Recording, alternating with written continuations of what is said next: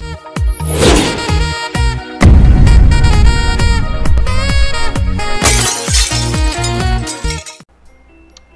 galera, beleza? Aqui é o Edu e hoje eu vou continuar aquele vídeo lá que eu tava explicando como fazer o cooldown, agora eu vou fazer o delay, beleza? O delay ele não tem muito segredo também, ele é bem facinho de fazer, aqui ó, antes desse retorno falso aqui, vou botar if if command.getName.equals ignore keys, aí eu boto dl que é delay e esse daqui, ele é o mais simples de tudo. Aqui embaixo eu vou criar um hash map. Aqui em cima mesmo, hash map delay. É... Então não. É task DL, que aqui é o task de CD e o task de DL. Aqui eu vou criar um new, runnable, não, SH se você não viu o último vídeo, veja o último vídeo. Isso daqui é uma continuação daquilo lá. Aí aqui, aqui não vai ser repetido, vai ser delete. Aí eu coloco this, aí aqui eu boto run, clique na opção de run para gerar os, os negócios já. E aqui delay, é o tanto de segundos que que põe. E 20 é 1 segundo, pôr 5 segundos. Beleza? Aí quando der 5 segundos, Lembrando, tem que criar uma final de player, que nem aquele no outro aqui, ó. Final player PF. Tem que criar aqui. Final player PF. Senão não dá certo. Aí pf.sendMessage. Pronto. O delay acabou. Delay acabou. Aí depois que acabar, vai ter que deletar esse hash map que nem eu fiz aqui, ó. Então cancel task e aqui eu vou mudar para task DL, que tem que ser o de DL. E aqui embaixo vou colocar ele na task.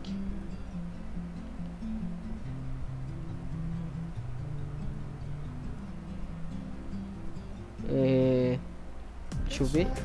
É task D task DL muito put e e aqui o valor que é task. Não, não, vou task id. id Agora eu boto task id igual passo mouse em cima e crio local variable, beleza? É, não é muito difícil, galera. É um... no começo, quando eu aprendi isso daqui, nossa senhora, demorei para decorar, mas depois que você aprende, você fazer delay em minigame fica fácil não tem dificuldade. O único jeito melhor que eu descobri foi usando hash map, porque aí dá pra você pegar o valor sem ter que ficar colocando um monte de final, tá vendo? Que nem o player aqui, ó. Ou hash map ou variável. Variável também dá certo. Ó, essa variável aqui, ó, não é final. Ó, ela não é final. Aqui, ó, essa H não tem o final aqui no, no coisa, ó. Não precisa beleza? Agora é o seguinte. Vamos fazer... Aqui cancelou a task. E aqui colocou.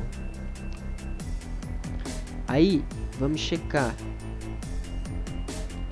Se, o, se essa task tá rodando, ou seja... Porque se o cara tentar usar o comando duas vezes... Aí vai cancelar, vai bugar. Então tem que checar se já está rodando. If, aí sh, que é scheduler, ponto. Is, que, que é para quando é repetindo. E quando é delay, é isso de cima, excruente running.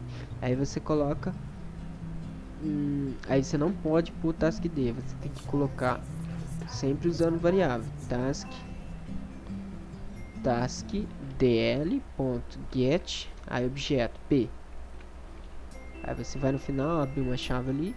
Se tiver já rodando isso daqui, aí você manda uma mensagem pro player e pausa o plugin. Você já usou esse comando, você já usou este comando. P ponto. É não, não é P não, agora é return true. Beleza? Aí aqui cancela, aí tem que remover. ch.remove é ch. Ponto, não, não é ch não. É task task dl ponto remove p. Não, aqui tem que ser pf porque tem que ser final. Beleza, perfeito. Agora, perfeito. Salvar aqui mesmo. É reload. Agora quando gente dá DL.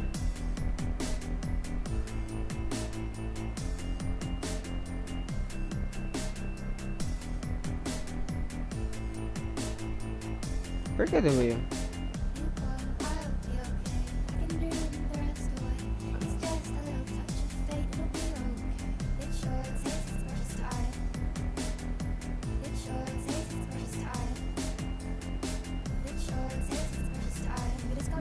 Não. Tem um jeito mais fácil. Nossa. Esse daqui que eu usei aqui não serve, galera. Tem que ser o outro.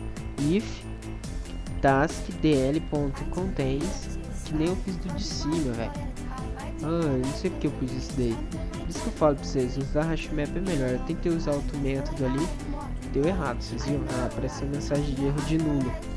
Null pointer exception, olha lá. Null pointer exception. Pronto, agora acho que agora não dá mais erro não, vamos ver. Agora não deu. Você já usou esse comando. O delay acabou, aí eu clico de novo, você já usou esse comando. Esse aqui é o delay, galera. Então, ó. Ixi, eu apertei CD, não, não é CD não. Ih, crashou.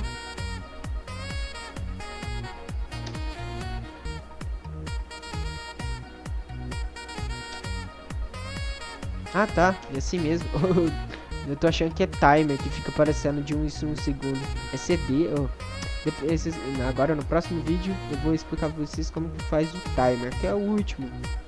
Esse aqui acho que ficou pequeno, ficou pesado. É que aquilo lá eu expliquei mais, porque o mais, mais difícil de fazer mesmo é o cooldown. O timer, o delay, bem simples, não tem dificuldade. Uso hashmap sempre. Eu comecei a fazer um minigame de parkour ali e usei hashmap praticamente quase todas as coisas. Poucas vezes que eu usei lista, que lista é ruim, que só salva, salva uma coisa só. Hashmap salva várias. Salva duas vezes e mesmo tanto de que lista. São um pouco mais difíceis de usar, beleza? Então foi isso, espero que você tenha gostado e te vejo no próximo vídeo, beleza? Falou!